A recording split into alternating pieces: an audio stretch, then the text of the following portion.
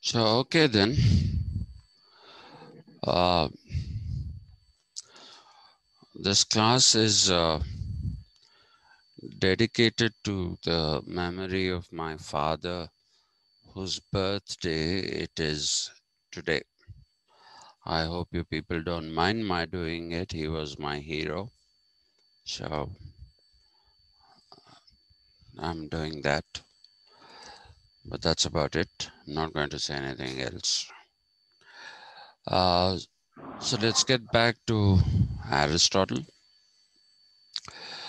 And uh, the point that I was making about Aristotle is that uh, people consider him to have studied constitutions. And please remember that constitutions is not a word that can be used in the case of uh, ancient Greece.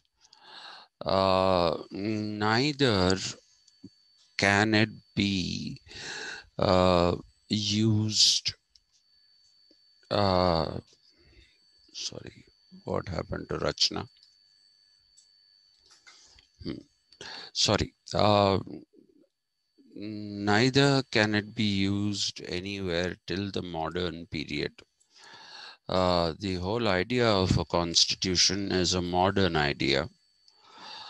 And uh, please remember that uh, the laws that were followed uh, in most uh, in quite a few city states uh, sorry not city states sorry police p-o-l-e-i-s pronounced police that is the uh, plural of polis uh, all these were either done under the command of an oligarchy or sometimes even a monarchy, like uh, Macedonia, for example, uh, was a monarchy.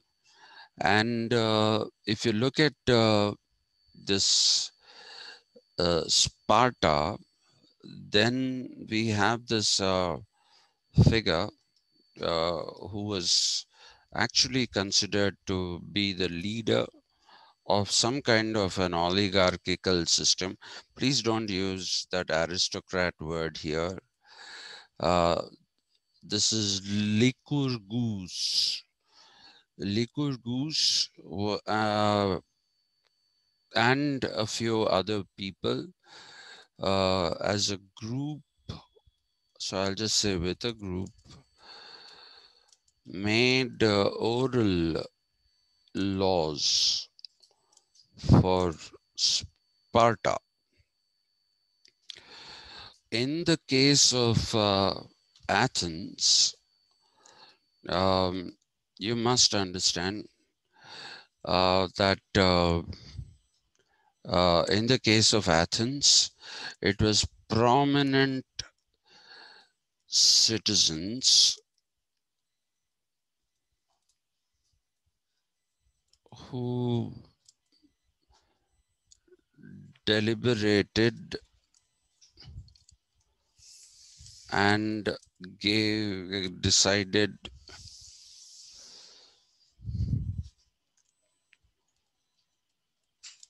the rules of social conduct. That's why it's called a democracy, but it is not really a democracy okay it's uh, democracy is completely different. That is where everyone is involved in it not just a group of not all citizens again prominent citizens. Uh, it is lost in time sorry as to how uh, these prominent citizens were chosen or how they became prominent citizens that we do not know uh, so they decided uh, uh, the rules of conduct, social conduct. It's also called poetics of conduct. You will see that in Aristotle as well, in his book Poetics. Uh, so what we are looking at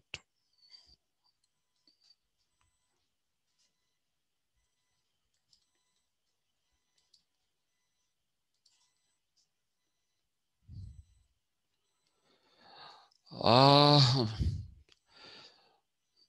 if you think we haven't finished the empirical part, we finished the normative part most definitely. Uh, I did uh, the second part of that was uh, empirical. Uh, now I can go back to that at a later stage in today's lecture. Okay. Uh, um, um, one more. Okay. Okay. So we can go back to that again. Actually, uh, I'll do one thing with your permission. I'll do that in the evening class because that is where uh, empiricism will have to be discovered, uh, discussed. So I'll begin the discussion of behavioralism with empiricism. Is that all right? Okay, sir. Okay, sir. Yeah, because you can't discuss behavioralism without discussing empiricism. So, so we'll talk about empiricism. Normative is over. I hope you've understood that. Yes, sir. Yeah. So the empirical part, I'll do it in the evening. Yes, Okay. Okay. Thank you. Thank you very much. Uh, so prominent citizens, how were they chosen? We have no idea. But this is what has led people to comment on the fact that it was some kind of a direct democracy that was uh, at work in uh, ancient Greece, which is really not the case. There was no direct democracy. And like I told you when we did the typologies of uh, government, uh, what I told you is that they saw a degenerative cycle. And uh, unfortunately, uh, many interpreters, and especially if you people are going to be reading uh, O.P. Gauba, you just might uh, get a, a feeling that Plato's ideal republic and that is seen as an aristocracy. Okay, it's not an aristocracy, it is a rule of the philosopher king segment of society. It's not an aristocracy. Aristotle uses some word which has been translated into aristocracy in his typology. And I told you that uh, I'm severely handicapped uh, by not knowing the uh, by not knowing the Greek alphabet and the, the ability to read it. So I have to depend on someone else uh, to translate that. And all the translations basically say, uh, all the translations basically claim that it was uh, aristocracy, but I don't think, I'm not sure if that is a correct translation. So please do be uh, careful about that uh, whole thing. Uh, you can write in Aristotle, but please don't write it in the context of Plato. Okay. and some of them also make a comparison with the Indian caste system. Uh, some of them use the caste system. It is not a caste system. It is a meritocracy. Uh, and in both Aristotle and Plato, what we are trying to see is when they are uh, talking about, uh, in the case of Plato, the ideal republic, uh, which actually is the ideal politeia. I hope you remember that. Uh, uh, politeia, that's how it is supposed to be pronounced. So the ideal politeia got translated as res. Some translations will say publica, some will simply say public. In Latin, both are uh, acceptable. So whether you read it as res publica or res public, uh, either of the translations is fine. But that is what gets translated into English as the Republic. But this Republic is not at all a Republic of the variety that we have in the modern period. This is a primitive republic and it is a Roman uh, word actually. Technically speaking, we should be actually calling it only the politeia. But unfortunately, what has happened is that since there are all translations of Plato's Republic, including the one by Barker, who only says that uh, it is actually politeia. He doesn't uh, actually find it another name. So he also uses the Latin translation as a result of which it's become the Republic. So we have no choice but to talk about it as a republic. That is our uh, main problem because we have to talk about it as a republic given the fact that everybody uh, refers to it as republic. Even Greek uh, uh, scholars of the Greek language like Barker, they also use this particular translation, which makes things extremely difficult for us. But uh, otherwise, it is supposed to be politeia.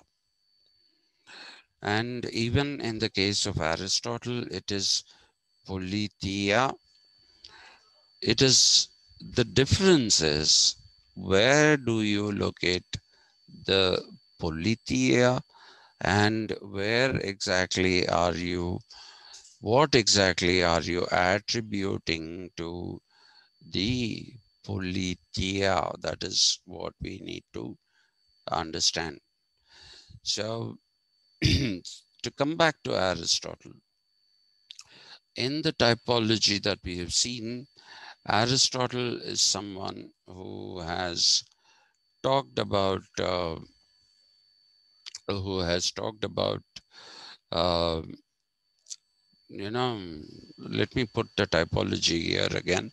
I'm not putting the uh, Plato's typology, or maybe I'll put it for comparison. In Plato, it is monarchy. Monarchy, again, not in the sense that we understand it, a monarchy is a single source of power. That's all. That's what it's a Greek word actually, monarchy. So you know, it's not a translation that we are trying to approximate. So, uh, so it is a single source of power. I regret that we don't have the time to do Solon or Solon, as some people call him. Some people call him Solon. Uh, he was a very good example of a monarch. Uh, and uh, let's see if time permits at some point, maybe I'll do a bit of Solon with you, but not now. We don't have the time to do Solon. Sir, is it Solomon or Solon? Hmm? Solomon. Not Solomon. Solon, S-O-L-O-N. Some people say Solon, some people say Solon. I think it is Solon because Greeks have a tendency to drag the word, the last syllables. They drag them. Okay, so this is Plato, monarch, monarchy degenerating into a democracy, which further degenerates into oligarchy.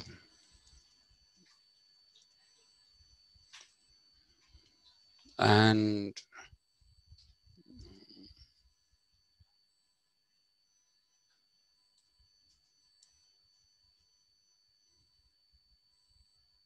uh-oh. oligarchy for him. From here, you go straight to democracy. Monarchy, monarchy is a, is an enlightened kind of rule, not the philosopher king kind of enlightenment. Uh, democracy is when the monarch is completely corrupted by the power that uh, he has and therefore doesn't rule for the well-being of the people. Uh, oligarchy is uh, that which is uh, a group of people taking over from this uh, now arrogant uh, and uh, all powerful individual who has started ruling, not keeping in view the well being of citizens. Citizens uh, is a word there. and uh, when we talk about uh, oligarchy, so they are trying to restore some kind of thing, but they too get uh, it's a group that gets corrupted over time. And that is when the mob demos is a mob a very big group of people they take over. And so plato called democracy a mobocracy. Okay? And uh, he didn't favor that at all right so for him the only good thing, if you're looking at that kind of uh, a typology, is to be found at the level of the monarchy. And in the monarchy, what he is saying, uh, uh, he when he talks about the ideal republic, it is at the level of the monarchy that he wants. He wants to stop this degenerative cycle and what he's trying to say is let's have the ideal republic there ruled by the philosopher king segment. Okay, ruled by the philosopher king segment. Please don't call it class. Class is an economic denomination. Uh, please don't call it caste. It's a social denomination. Uh, neither of these are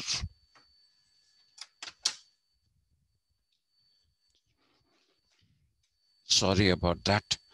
The door was banging much to my discomfort. Uh, so what he wanted to do is he wanted to stop this degenerative cycle. And hence, he, in the place of monarchy, you should be having the politeia. The politeia is the thing that he wanted in the place of that monarchy, which is the rule of the philosopher king class. And therefore, uh, it is something that uh, would be uh, exempted from this unnecessary degenerative cycle because this would be enlightenment. And i told you that he's also looking at the improvement of the race itself and that he's the first person to have used uh, that term superman okay uh, which is normally attributed to uh, Friedrich Nietzsche, but it's not Nietzsche. Nietzsche used it more vociferously than uh, uh, Plato, but it is Plato uh, who would be coining it. I don't, I haven't again found the Greek translation of it. The German translation of Superman is uh, Ubermensch. Okay, U B E R, Uber M E N S C H. Ubermensch is the translation that uh, is the is the word that is used by uh, uh, Nietzsche and which gets translated as Superman. I can't find the Greek equivalent of that. Again, due to my not knowing uh, the Greek alphabet mainly. Okay, so so we have to rely on other people's translations. Uh, now, in Aristotle, this thing is different. It begins as a monarchy. yes, The sir. characters of uh, Superman in uh, Friedrich Nietzsche's work and uh, Plato's work are different characters. Characters are different, but the concept. In what, what are you asking me? Please, I didn't get it. Are there any differences in character of uh, Friedrich Yes. Nietzsche's uh, Übermensch and uh, Plato's uh, Superman? Uh, yes, there are.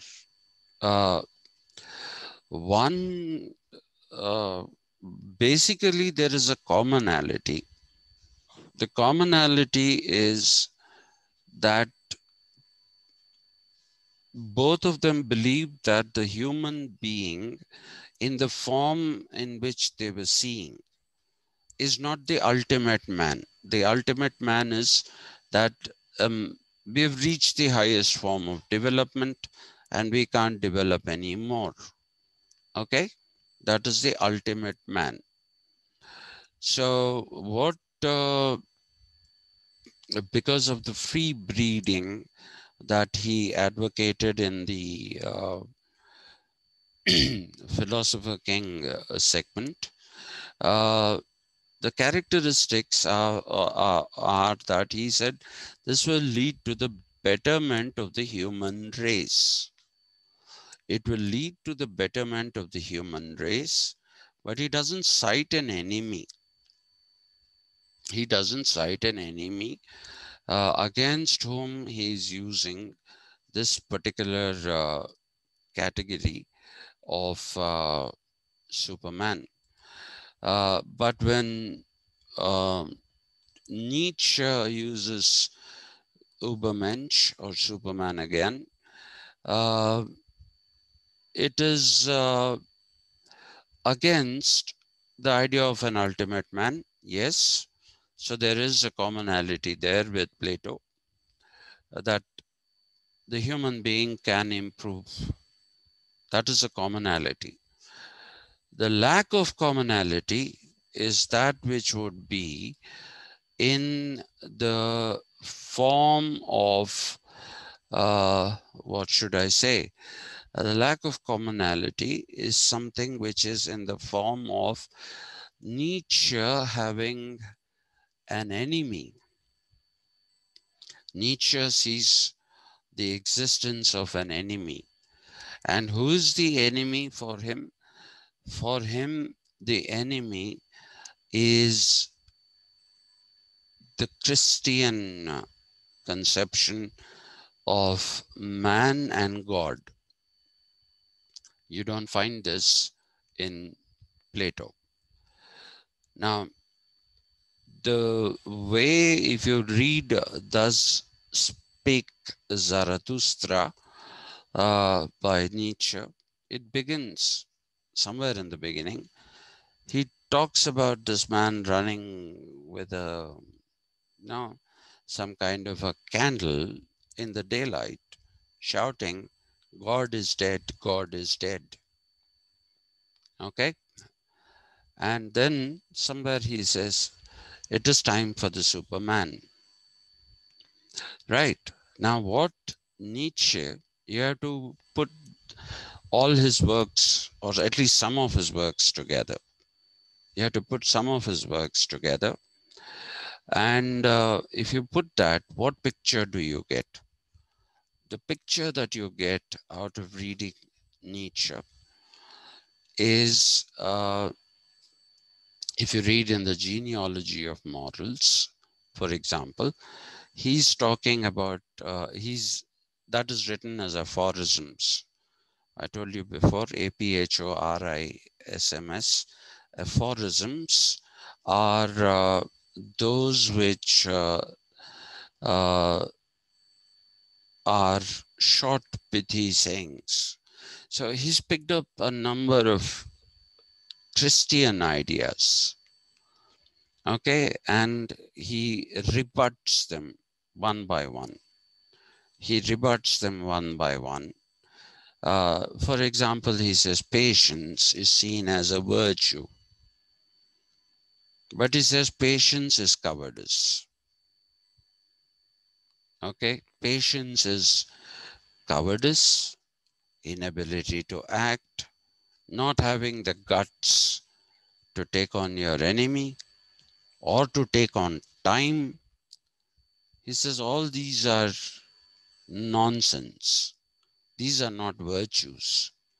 These are indicative of a weak minded human being. So the humanist component, I hope you remember the humanist, we talked about humanism. The humanist component is extremely strong in Nietzsche. It's probably the strongest among all philosophers across time, the humanist component. I said even the sophists had a humanist component. When we were doing Plato and just before that, when we talked about the sophists, I talked to you about uh, uh, them being, uh, uh, there being a humanist component there. And they, they were the first to create a man-centered or a human being-centered universe, which is of course some kind of an analogy it's not a literally, instead of the sun, there is a man there. It's not that. Okay, so, so he is basically talking about uh, the unnecessary celebration of Jesus Christ. And to that extent, he writes a book which is called Antichrist. In Antichrist, because uh, you see, the Christians have this thing about an antichrist coming up at the instance of Satan or the fallen angel Lucifer, not fallen, the angel who was cast out of uh, heaven and on and went into hell. And he takes away the souls of the people. Okay that is the kind of a thing. So anybody who defied the bible was called an antichrist i don't know if you've read uh, the quatrains of uh, nostradamus. Have you heard of nostradamus? N-o-s-t-r-o-d-a-m-u-s No, sir.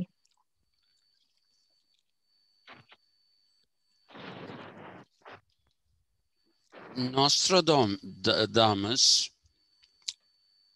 was somebody from France.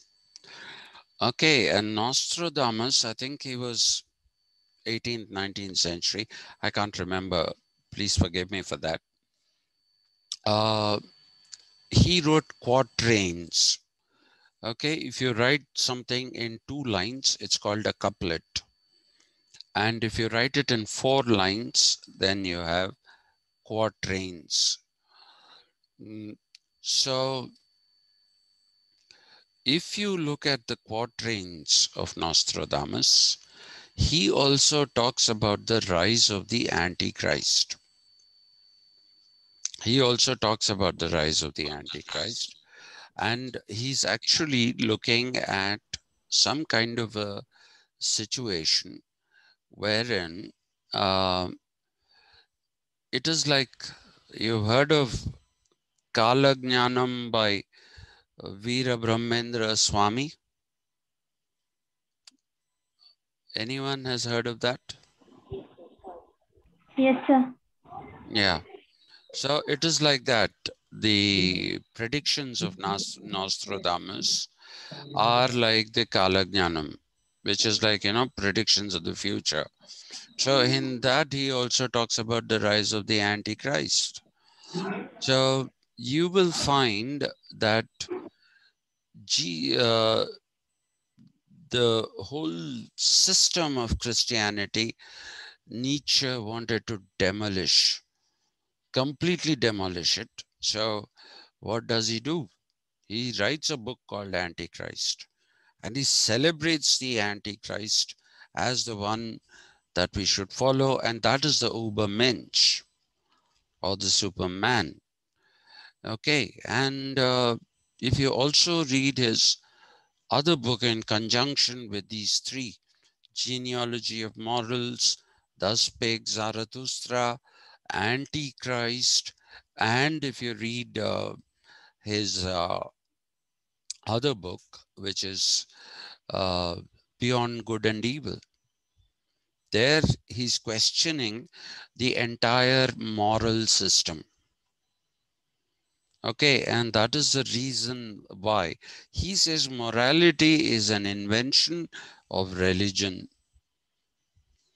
It is an invention of religion to subjugate people and keep them subjugated. That is what he is basically saying when he is talking about uh, uh, morality.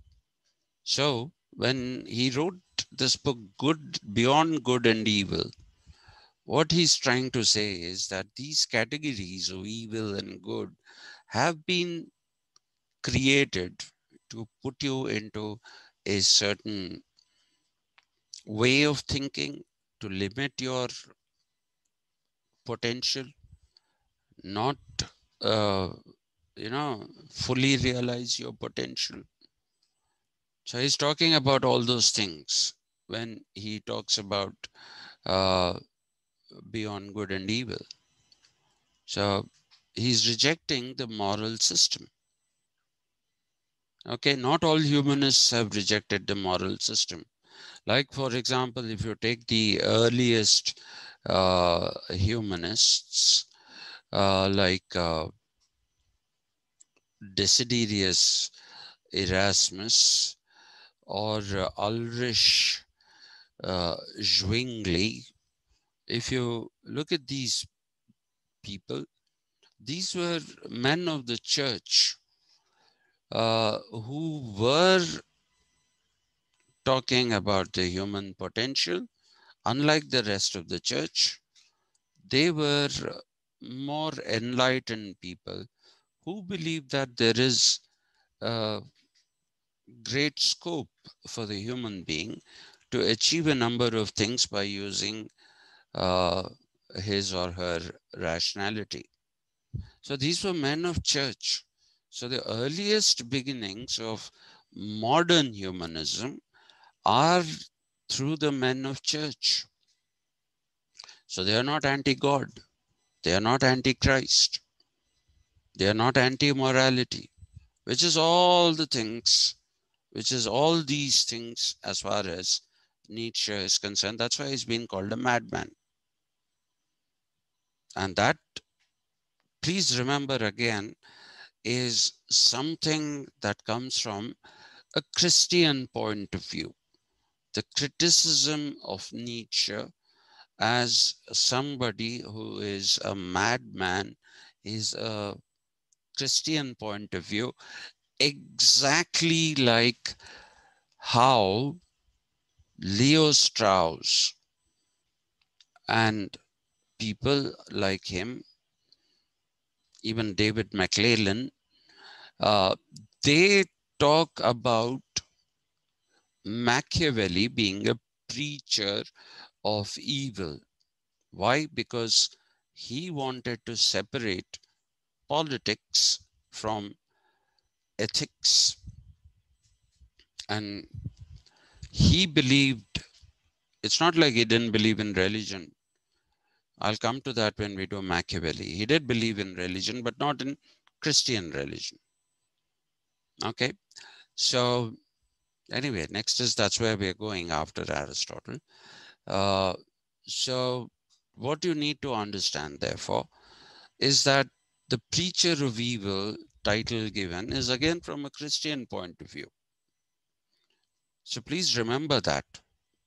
Okay, when somebody says this is a madman, why is he being called a madman? He's being called a madman because he's being different.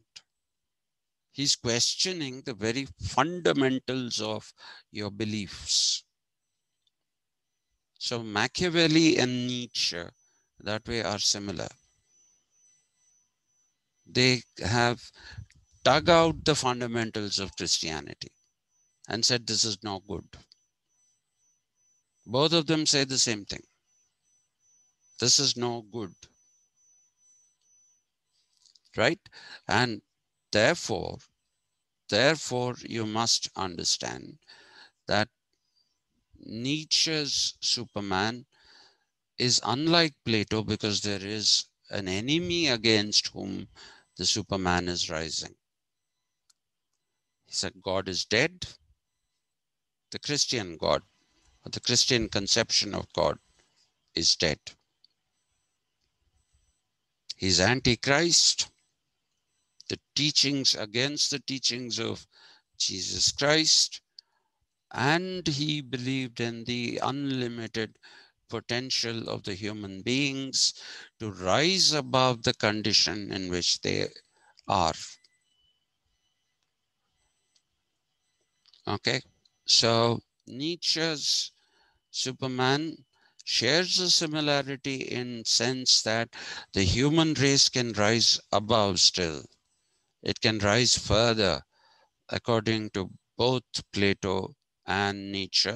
They are similar there, but they are dissimilar that Plato's Superman has no opposition. He has no opposition, as in a supernatural entity like God or a prophet or anyone like that. And uh, he uh, is only talking about human beings rising higher. So there is that bit of the sophist in him. There is that bit of the sophist in him. So they are two similar yet dissimilar uh, versions of the concept of the Superman. I hope I've answered your question. Yes. Okay, so let's return to Aristotle. Monarchy.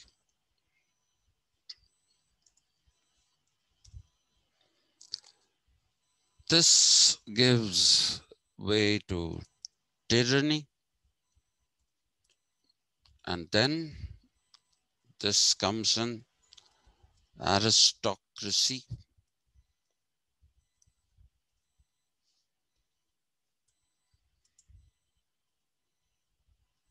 And this leads to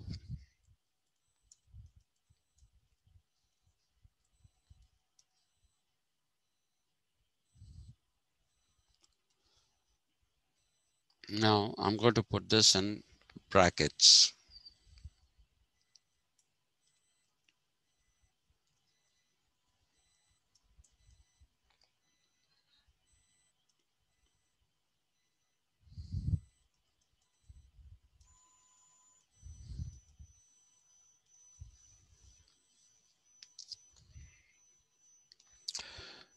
So this is again a degenerative cycle of history.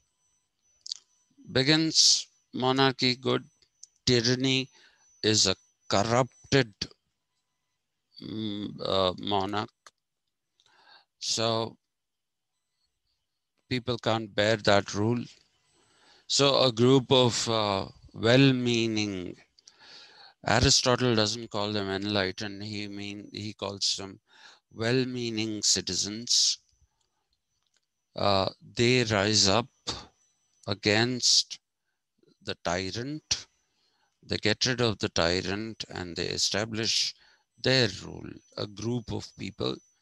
Then how many are these in this group is not specified either by uh, uh, what is his name uh, Plato or by uh, Aristotle.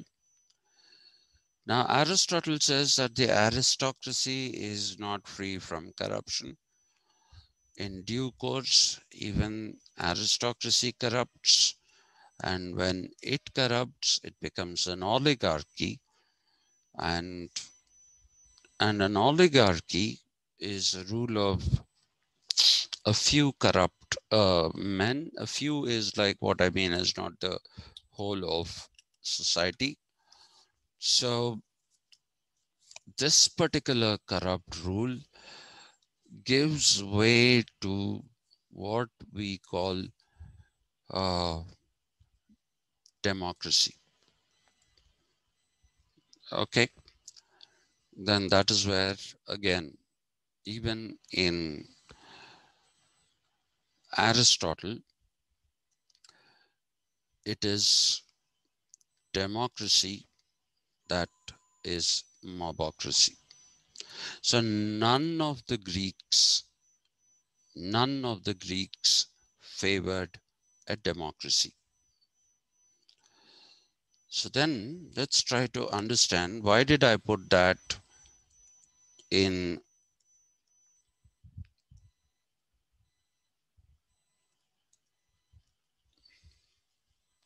why did I put polity in brackets? Now, what Plato wanted to do was right at the top, he wanted to place the ideal republic's rulers who would be the philosopher king uh, segment. That is the politeia. Politeia, sorry. Politeia is what he's talking about at the level of the monarchy. But Aristotle is not talking about them there. What Aristotle says is when the oligarchy is something that is degenerating, he believed that the halting of the degenerative cycle, the halting of the degenerative cycle can happen again through politeia. Politeia is some kind of enlightened rule. But he's saying that let's not place it above oligarchy, above aristocracy, because he believed, unlike, unlike Plato, please remember that one difference I talked to you when in when we started uh, uh, our discussion of Aristotle. Aristotle uses inductive reasoning as against deductive reasoning by Plato. Plato's deductions are all mathematical. Aristotle doesn't have mathematical deductions he looks at society as an organism. Okay, once I finish with this and when I start explaining things to you about what he means by society is an organism. That will become clear to you as we proceed further. Okay, he sees society as an organism. So for him, concentration of power in too few hands or just one hand is not a desirable thing because he believed that power would then corrupt people. It would corrupt people. So, politeia, though not his own idea, first used by uh, Plato, documented use. Other people, if they did, we don't know. Politeia is polity. He called it the translation for that. politeia became polity, not republic. Not republic. This is a later translation. And I am told that the earlier translations of Aristotle's book Politics also use the term republic or, uh, or res publica, which was uh, Latin. But later translations, which went directly to Greek, uh, to, to the Greek language, and not to uh, the more common Latin language. There they translated politeia as polity. Okay.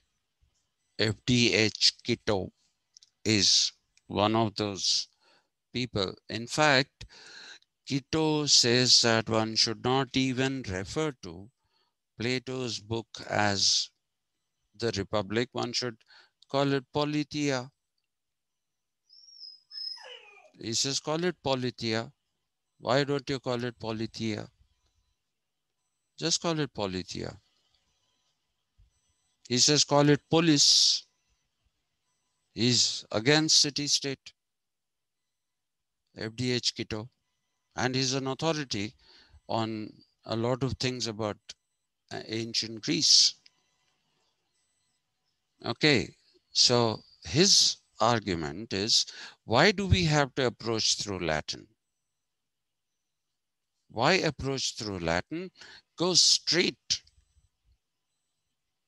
to the Greek source. Bring it into English. In which case, what we are talking about, this is a term that uh,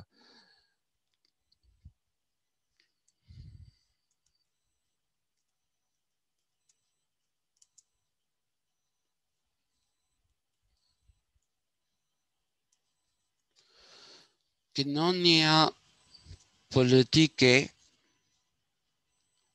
Now please translate it. It becomes political society. It doesn't become social civil society. Because there was no polis, there was no politeia. The Romans translated it into res publica. They translated koinonia politike into civitas uh, societas civilis. Okay, that's how they translated. And today we have this thing that non-governmental agencies that are working for development, this is the latest I'm talking about now. These are called civil society organizations and the institutions of government and the institutions of governance are called political society, which is exactly the opposite of Koinonia politike. Political society is enlightened people living together and leading a commodious life. Okay, enlightened citizens leading a commodious life. That is what Koinonia politike literally means. But look at what translations have done. Just look at what translations have done. Because people have used Latin to translate into English rather than go to the Greek thing itself. And this in spite of, this in spite of the schooling system that was there in England.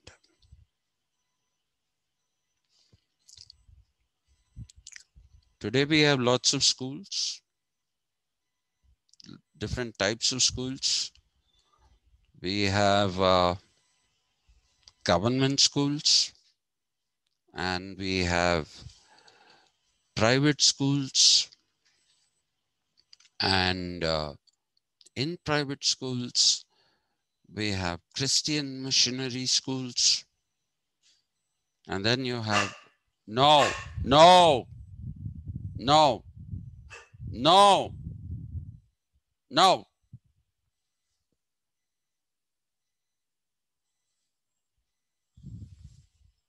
No sorry. Uh, so the basic thing is we have christian missionary schools formed by religious trusts. We have minority schools for the muslims formed by their trusts christian missionary schools don't call them minority institutions they don't call themselves that. One has to really appreciate that. All Muslim educational institutions call themselves minority educa- uh, uh, educational institutions. And they take mainly people from their own religion, unlike Christian missionary schools that educate everyone. Right? So we have that schools. Then we have the public schools, which I told you is a very different thing in England and India from what it is in the US. In the US, the public school is a cheap school that is run by uh, the government, uh, doesn't charge too much fees. But by our standards, even those are exorbitant. But public schools in England became uh, extremely expensive. It was a public society that was constituted, and that society would run the school. So the two most famous uh, public schools in England were Eton and Harrow. E-A-T-O-N, Eton and H-A-R-R-O-W, Harrow. Uh, I think, if I'm not mistaken, Nehru went to Eton. Yeah, I think he went to Eton. He went to one of these two schools.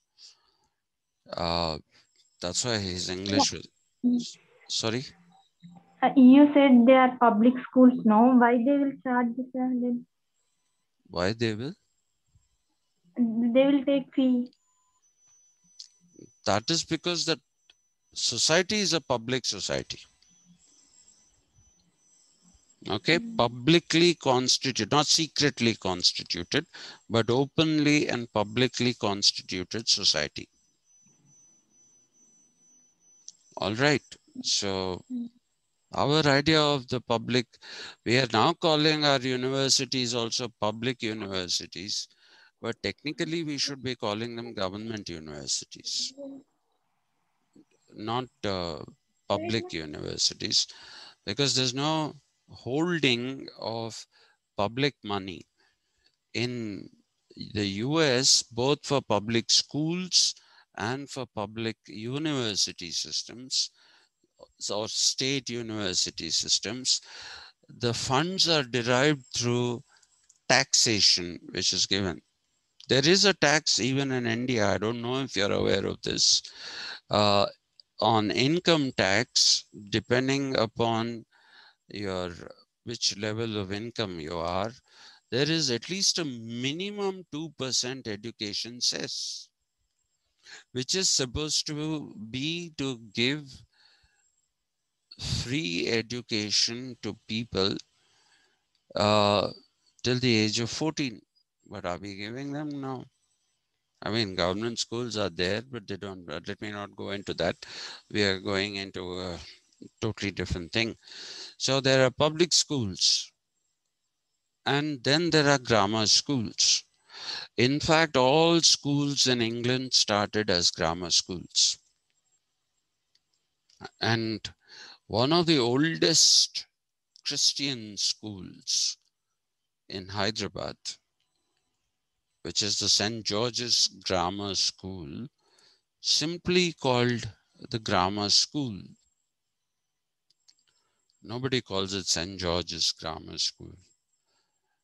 Okay, everybody calls it Grammar School. When was it set up? I think, if I'm not mistaken, it was set up around the 1850s. Sometime around the 1850s was when that uh, particular school was set up. And it was set up by the Anglican Church, which had two branches in India, CNI and CSI, the Church of North India and the Church of South India. Okay. Uh, the headquarters of the Church of South India are in Medak. This is a Protestant church. It's a direct this thing of the Anglican Church. It was a branch of the Anglican Church till the British were here.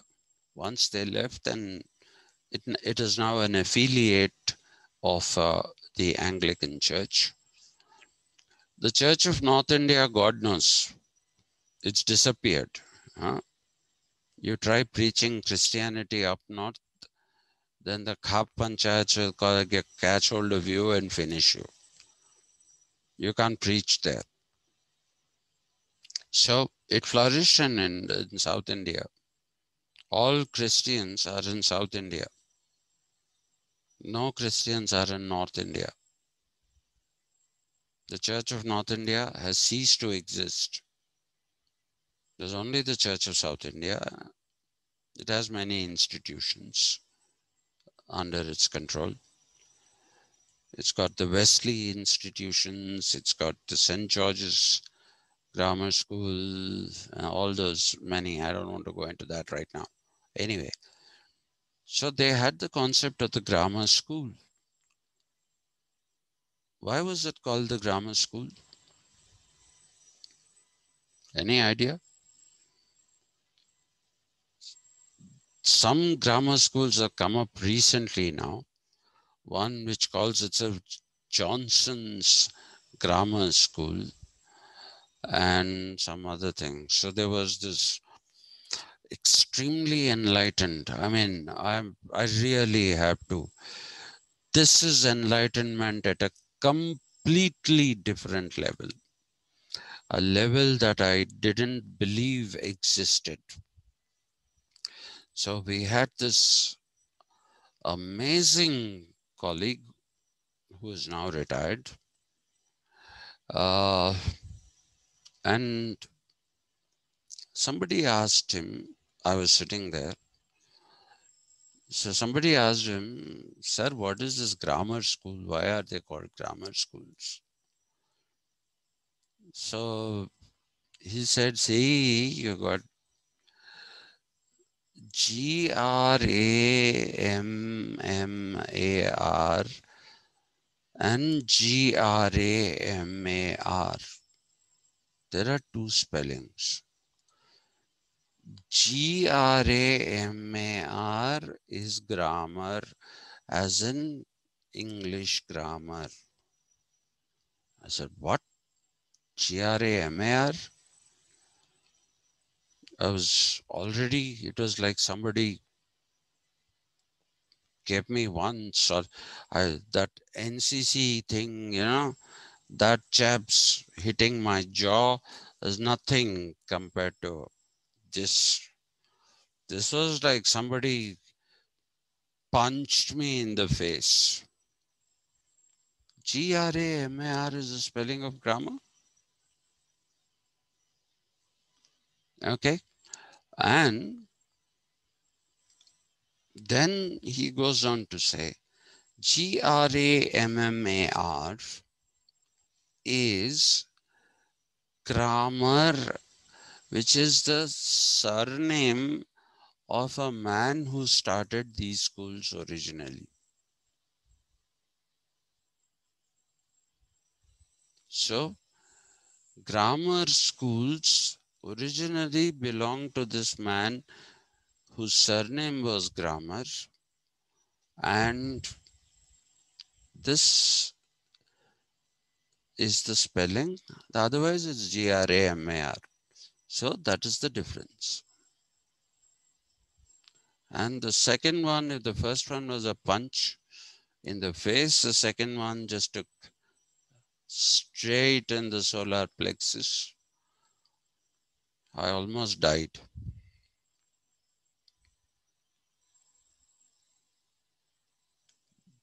Does anyone see the funny side of this?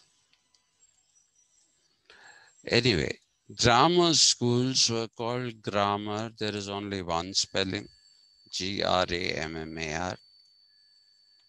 All schools initially taught grammar. They taught grammar. Why did they teach grammar? Because they thought unless you learned languages and you learned grammar, which is syntax, semantics, semiotics, unless you learn that, you will not be able to study. So the beginning of your studies is with grammar. And grammar of what languages? Grammar of Latin, that is the most prominent. But they also taught Greek grammar.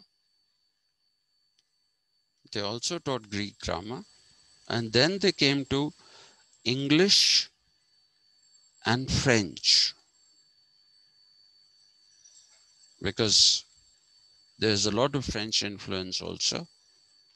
And of course, German, because I told you that the biggest influence on English is from the German language, thanks to the Angler tribe that came from the Saxony region and established their rule there.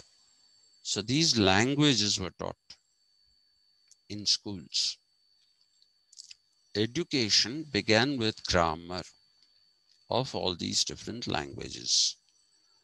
And then you went on to study other subjects at a later juncture. Now, what it what beats me is that if you were teaching Greek grammar, I know that you concentrated on Latin, all right, because that is a natural thing to do since you have adopted their alphabet. The Latin alphabet is what you use. So fine, I have no issues with that. But there was a component, which is Greek grammar. Why did these people fail so miserably? Why did they fail so miserably in teaching Greek grammar, Greek language, and Greek alphabet? There are hardly anyone, even today, there is hardly anyone in England where grammar schools are still there. They are not a thing of the past. They are very much there even today. But nobody seems to know Greek. I don't know why. It's a very funny thing. Not in a hilarious sense. It's a anyway. So look at the confusion we have created. Koinonia politike, which is supposed to be a political society where people are enlightened and therefore are conducting poetics of conduct again, where they are conducting themselves in a particular manner. Instead of that, it has now become governmental institutions and the process of governance, which is political society. That is not what Aristotle meant by Koinonia Politike. He didn't mean that. So that's the reason why one has to be very, very careful when there are translations happening from other languages into English.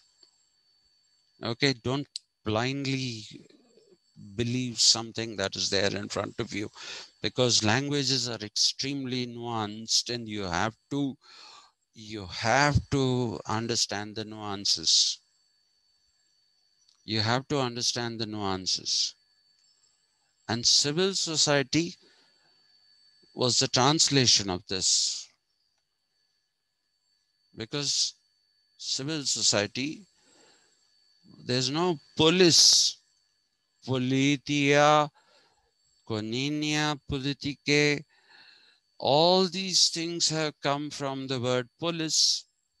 The Romans didn't have a polis. The Romans didn't have a polis, and without a polis, they didn't know how to say, talk about politics, so they made it civilis. And civitas, being civil. Being civil is being polite. Again, that also indicates a poetics of conduct. But by the time it's come down to us, civil society has been through some five different meanings. And now we have political societies also. But we'll talk about them later. Okay. So actually, Politeia was placed here because where I put polity in brackets, Aristotle believed that Politeia should not be at the top.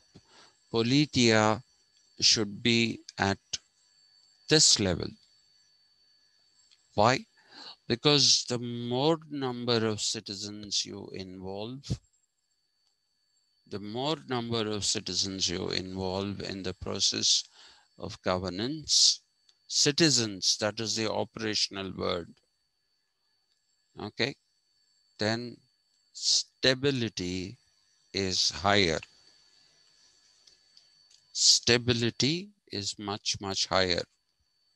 That is his belief. So, Politeia was located there. And since it could not be translated into republic, then again it'll become this thing. Somebody decided to translate that into polity in English. And like I said, it's a much later thing. Otherwise, it was becoming confusing because Aristotle, unlike Plato, went and talked about politics, the political, and all these things. And when these things happened, what happened? You see that uh, when all what was I saying? Good. Akshay, what was I saying? Aristotle. No, Aristotle, but what what yeah. Uh when the confusion over the terminology arose, then it became politeia, became polity. That is a word that we continue to use. Now, Aristotle differed with Plato on the ideal being the real. For Aristotle,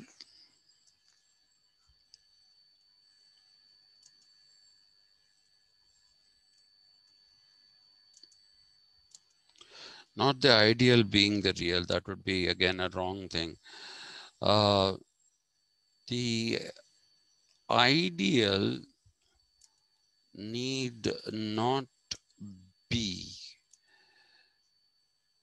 need not be perfection in the form of an idea.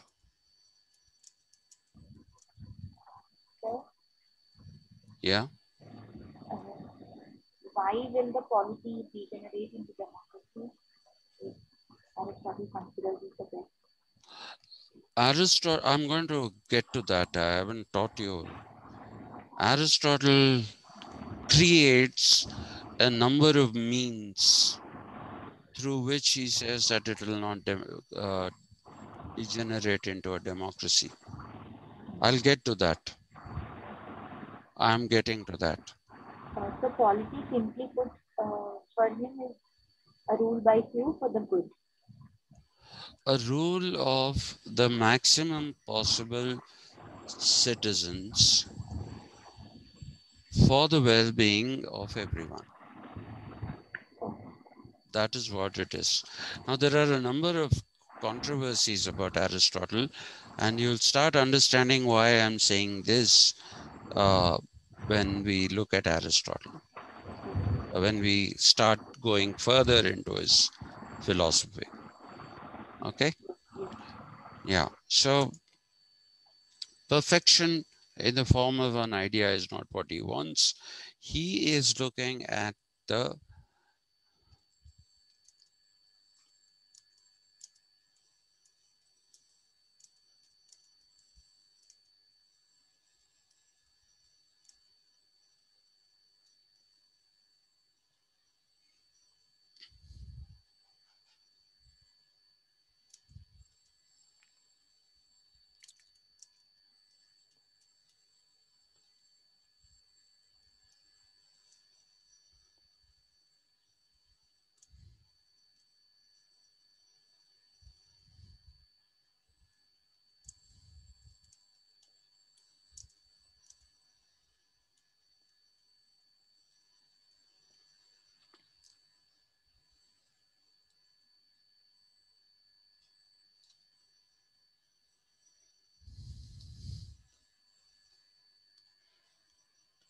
Okay, so this is what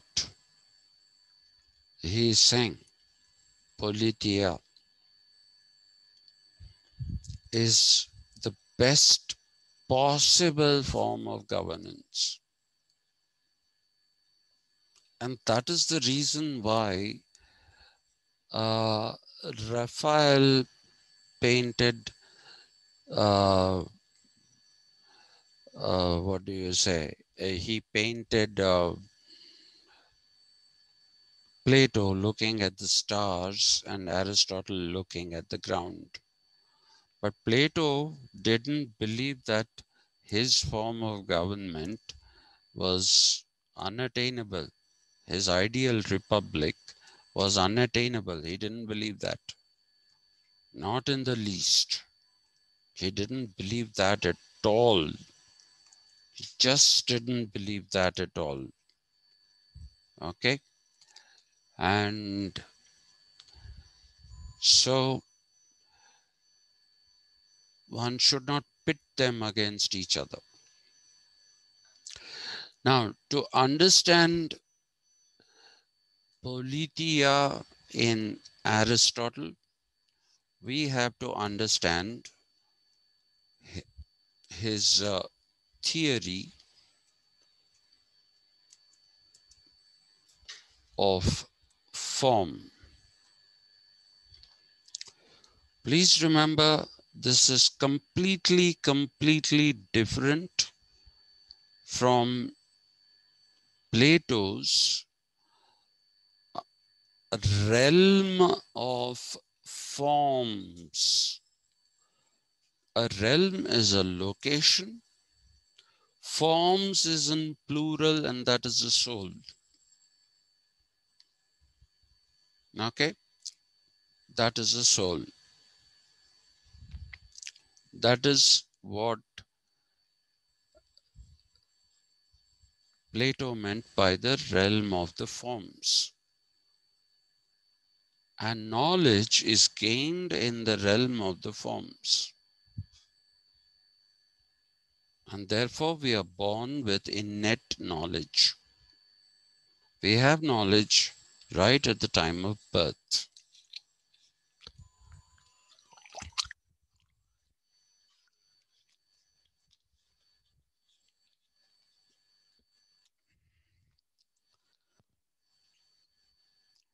Now, let us try to understand what is the theory of the form. In order to understand the theory of the form, you first have to understand this Aristotelian proposition. He says everything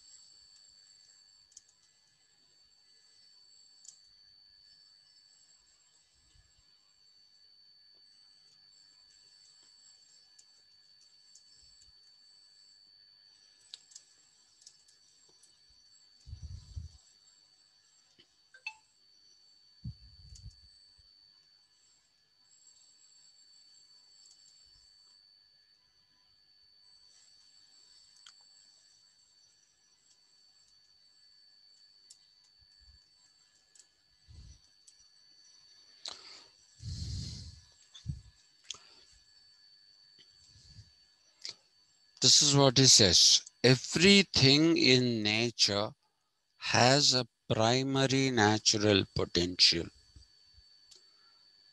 And well, actually, I have to put it as it will try to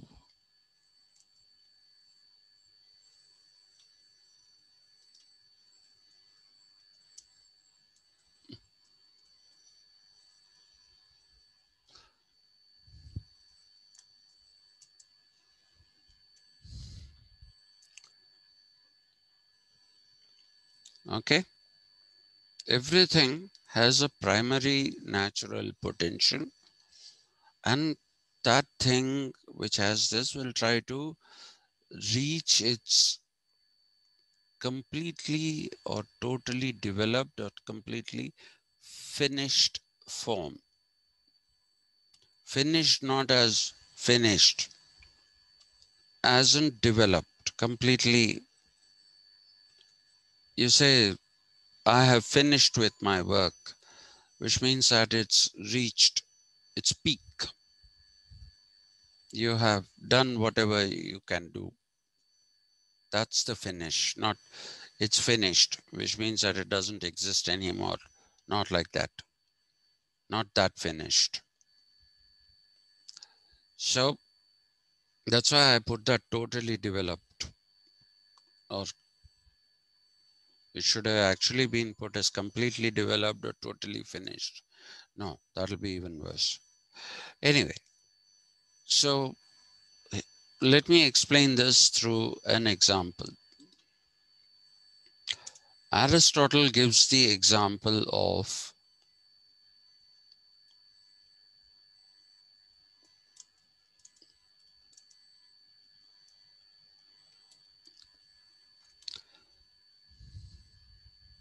I suppose you know what an acorn is? No, sir. Uh-huh. No, we don't know, sir. Okay. Well, acorn is a seed.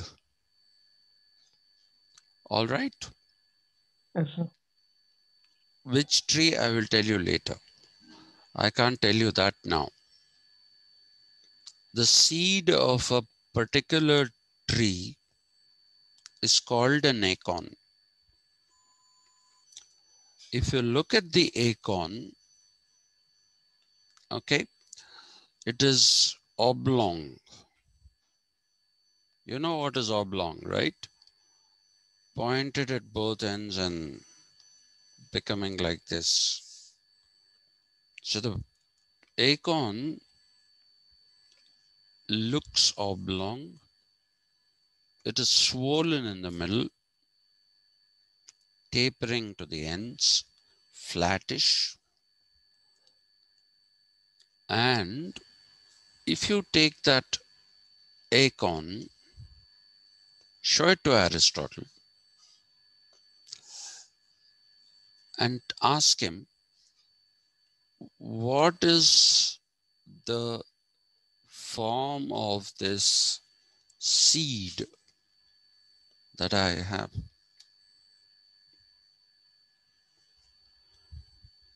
Well, when we talk about form, what is it that we talk about? We talk about the appearance. How does it appear? So there are two possible answers. One thing when you show that to him, or there are three possible answers. One is he can say, this seems to be a seed of some tree. Or he can say, uh, this is an acorn, if he knows what an acorn is. Or he can say, this is something which is oblong, a bit swollen in the middle and flattened out towards the ends.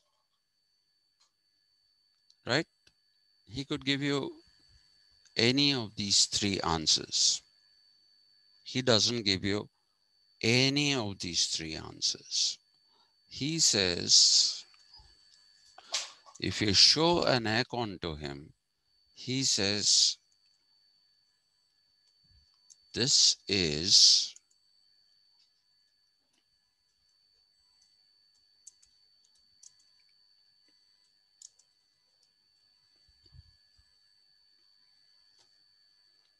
this is his answer. I suppose you know oak trees, right? It's a kind Yes, of a yeah. The seed of an acorn is, uh, sorry, of an oak tree is called an acorn. And please don't write AKO and I can't stand that fellow. Mm. Nah. So, acorn is primary natural potential. And what is its finished form? The finished form is the oak tree. So Aristotle says you never identify a form at the level of the primary natural potential. Never identify the form at the level of the primary natural potential. You have to go to the finished form. So if you see, even if you are not specific, somebody gives you a seed, some seed, you don't know what seed that is.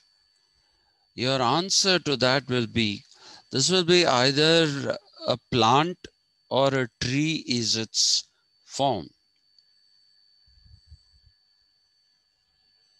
Okay, that is what he would say. He would say it would either be a plant or a tree of some variety. That is its form. So this is his theory of form. And it has everything to do with this proposition that everything has a primary natural potential and has to reach tries to reach its full form totally developed form sorry okay now please remember not all seeds seeds will become trees all right Yes, not all babies that are born of any different animals. In the animal kingdom, fewer babies survive, more number of babies die. Right? So not all of them reach the full form or the developed form or the fully developed form. Not all reach that. That is also true of human beings. But Aristotle says that shouldn't stop you from getting to the politeia. For him, politeia is the finished form. So I'm actually going in the reverse. Politeia is the finished form. And what do you find in politeia?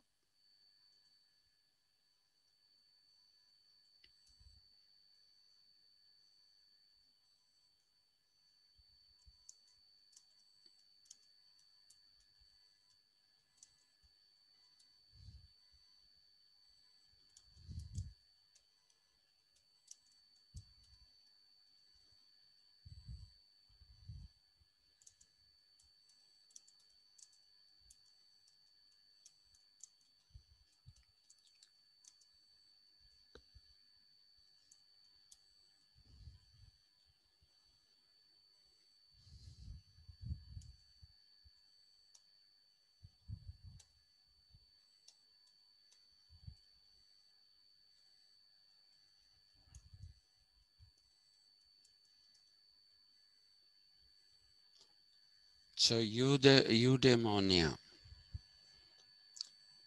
which can also be translated into peace and tranquility. It can be all these. It can be happiness. That's the beauty of Greek language. Second only to Sanskrit, but Sanskrit is the greatest language in the world, which is not something I'm saying.